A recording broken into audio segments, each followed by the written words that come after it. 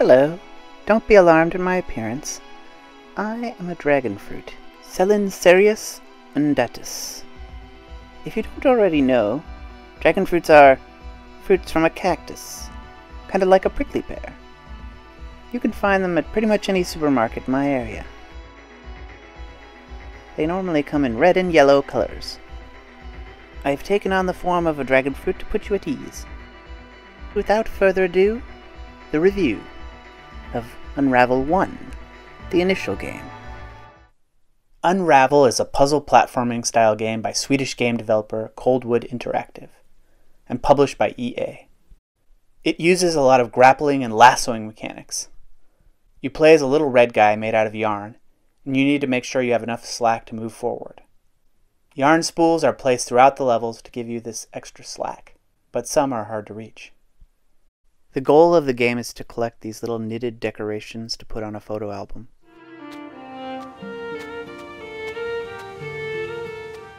The first thing that jumps out about Unravel is its beautiful setting.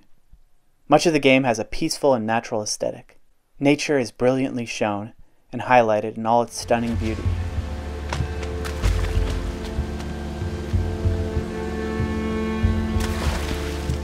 The beauty of nature is a big theme here, but the tone of the game does change as you go on, embracing the danger of antagonistic animals, and industrial waste, and machinery. But the game makes a point to return to the natural beauty throughout. I could feel some similarities to the aesthetic of Pikmin, albeit less silly than Pikmin, but still silly at times. Sometimes the picturesque scenes almost felt like a holiday animated montage on a screen at a fancy East Coast cafe, but playable which wasn't entirely a bad thing.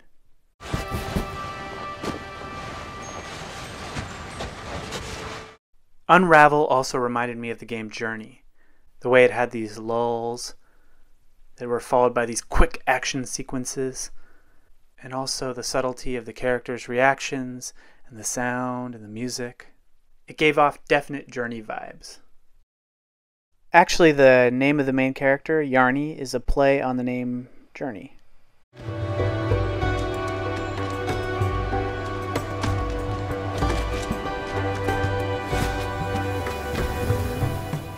Though what you're seeing on screen does feel cozy, it's not a cozy game.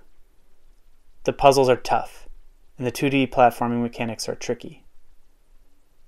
Some have described the controls as a little clunky.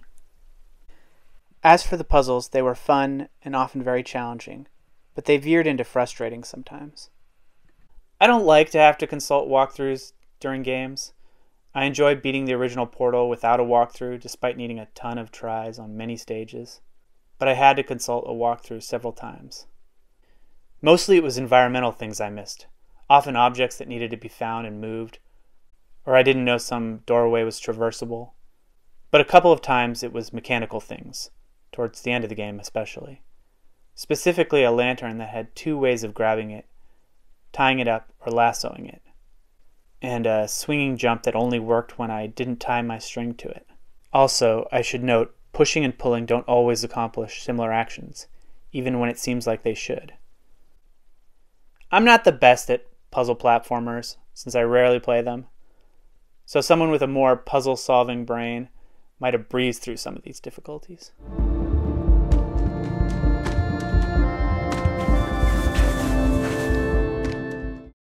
The story of the game was very subtly hinted at throughout the entire adventure. You are reliving memories from the past of the inhabitant of the house, traveling into photographs. It almost felt like you were psychedelically tripping into them. The home is filled with quaint little photographs, and you find your way into them and see what's behind them. It's a super sentimental game. It's all about a sense of deep, intense joy or pain that we get when a memory surfaces in our mind. Memories can be these half remembered feelings that come with intense emotions attached to them. A smell, sight, sound, taste, or touch can bring those feelings rushing in. The neurons fire, and the memory takes shape, sometimes only for a brief moment. This game is kind of sad and a little lonely. It's about returning to spaces where people once were. But the nature and your silly little character make everything less lonely feeling. I have to say, the emotion didn't hit me at first, since I'm not a huge living in the past kind of guy. But midway through the game, when the main character picked up a knitted piece to carry home and lingered on it for a moment, it really hit me with a tingle of emotion that traveled throughout my body. It's a vague but quite touching story once you get into it.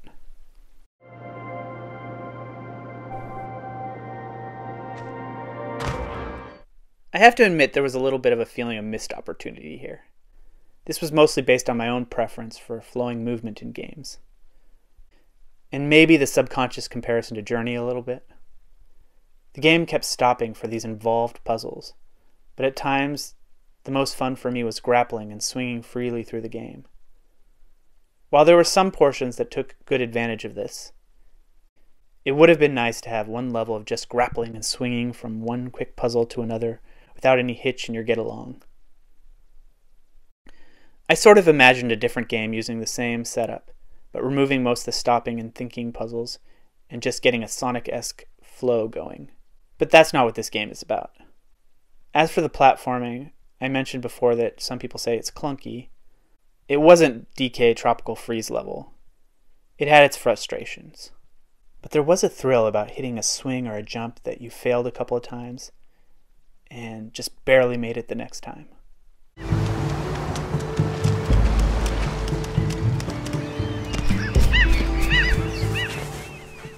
There's probably six to eight hours of gameplay here for the average player, but I would recommend taking it slow and playing the game little by little over time.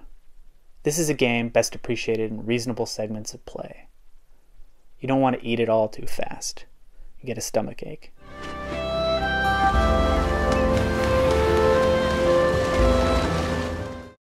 I'm glad to say I found zero functional glitches in this game. I mean, it's been out for a while, so I'm sure they patched it.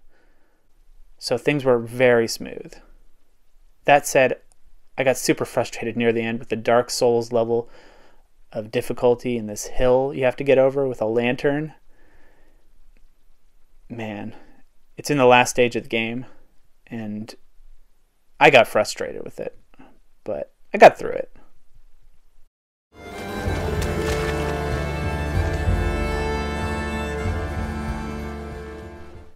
The music and sound were just right for this game, ambient and beautiful.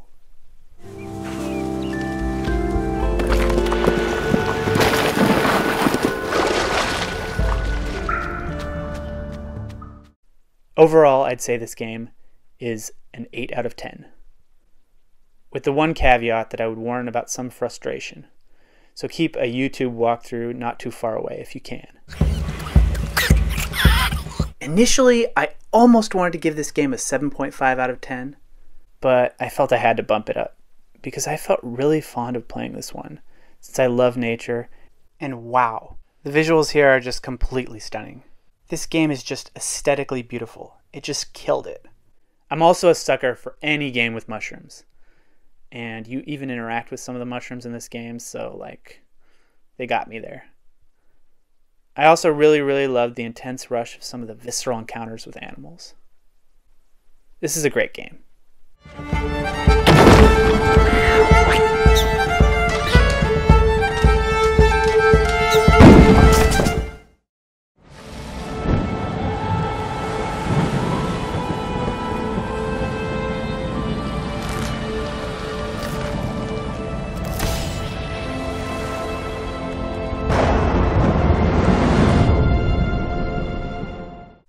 Now let's look at Unravel 2.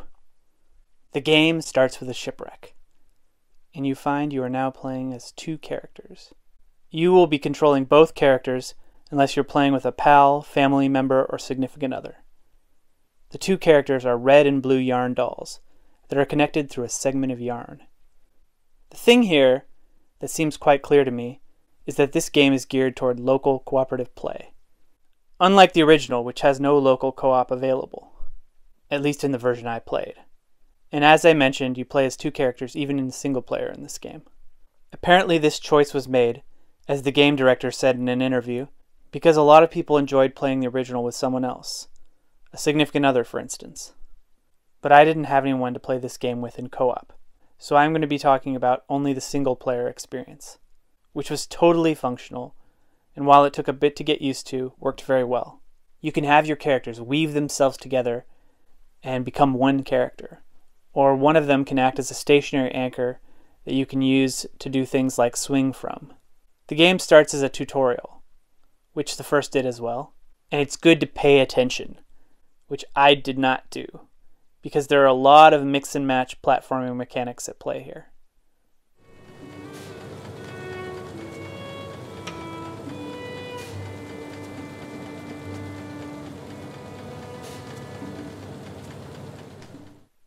Speaking of platforming, it's much more difficult in the latter levels than in the first game. There are some serious platforming challenges served up here, especially with the wall jump now being available. The platforming might have gotten more difficult, but it also got more precise. This game felt a lot smoother and more precise than the first. Though don't ask me to put my finger on exactly how. Also, there's no fall damage from great heights onto regular surfaces like there was in the first Unravel. I did like the new wall jump a lot, but I had mixed feelings about the removal of dying from falling from great heights. Though in the end, I think it was a good decision to remove this. Also, there is a surprise platforming mechanic added at the very end, and I won't spoil it here. This game also introduces these abstract dark energy enemies that can disintegrate you while you're doing puzzles or platforming. They act in different ways, and I don't want to play them up too much, but they're pretty cool. Some of them travel on a pattern, and some of them track you.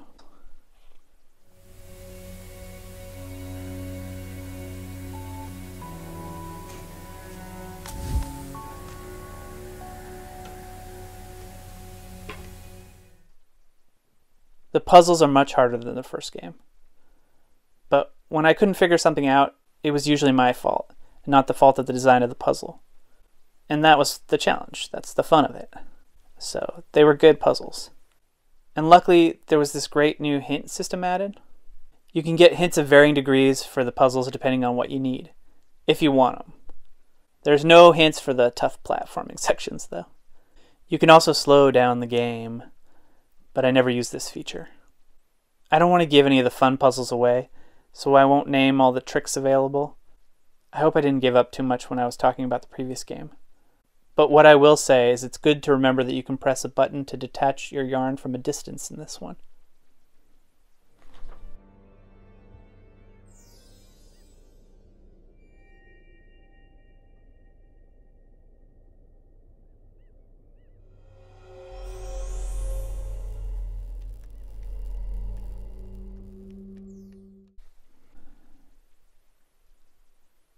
The story is probably equally vague compared to the first but somehow it was less engaging and thus less touching, though it's difficult to articulate exactly why.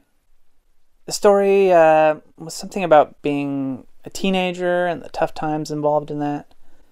Maybe it was just that the first game's environments felt so much more connected to the spectral memories it was showing. Compared to the first game, the environments in this game do often feel more made for the game, rather than natural environments that would exist without the characters there. Maybe it wouldn't have been as noticeable if I didn't play the first game and then this one, but it's impossible not to make the comparison. Also, there are more man made environments and less nature in this one. These two things, the less engaging story elements and the sometimes less enchanting scenery, along with other elements, such as the lack of a grounded aesthetic in the hub world, sucked out a lot of that magical charm. But some of that was made up by some really fun portions of the game.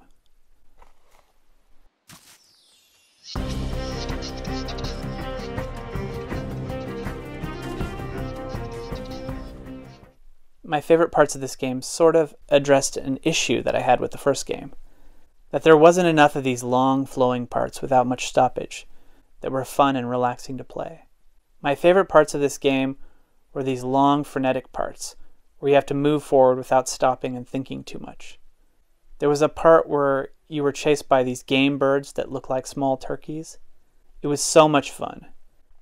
It didn't do exactly what I was talking about in terms of missed opportunity from the first game.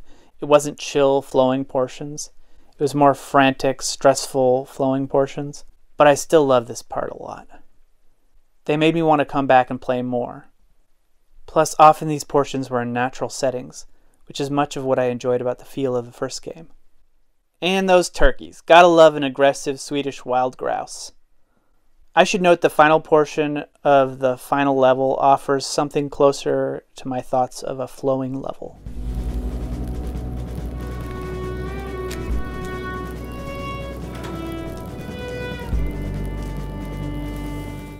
For an extra challenge, there's these optional glowing ball things that are scattered throughout the levels that you can get by completing difficult parts that you don't have to do. This same thing was actually present in the first game as these little yarn coin badge things.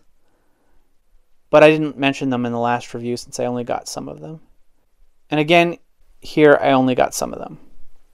For example, one of these bonus magic energy balls was in an alternative platforming route from A to B that was much harder and required very precise wall jumping. There are also challenge stages in this game that are bonus stages with tougher puzzles to conquer.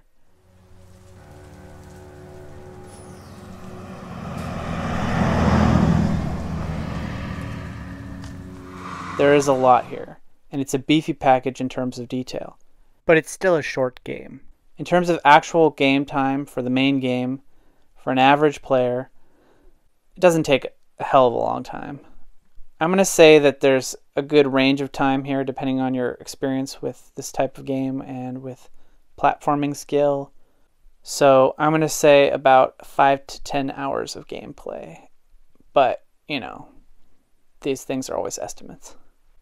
While the other game felt like it was best taken slow, I'd say it's okay to play this one for longer sessions, and there's some fun in that. Checkpoints are well placed, except for one that was before a cutscene.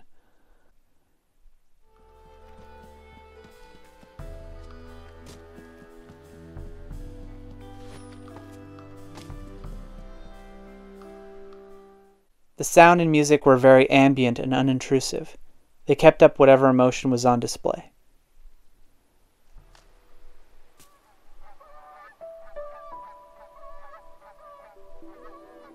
Again, this game was super smooth without any noticeable glitches.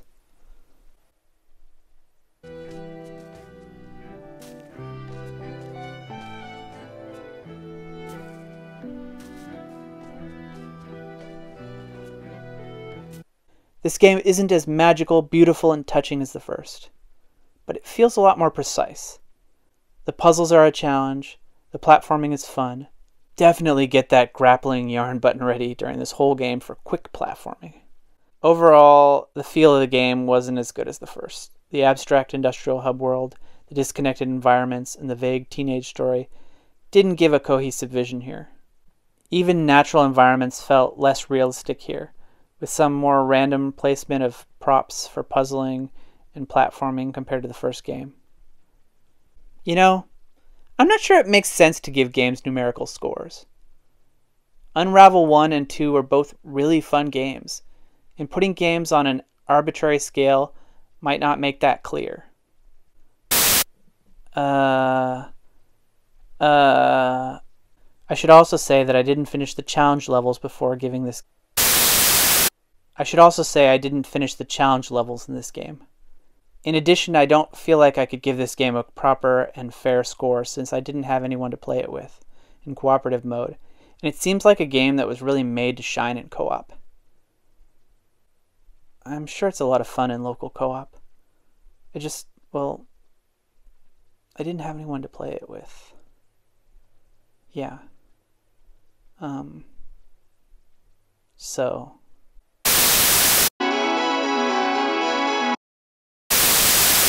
Hey, I don't know what happened there. I, uh, yes, let's, uh, give this game a score, shall we? It's a 7.5 out of 10. That's right, a 7.5. Thanks so much for watching. Like and subscribe for more content. Like and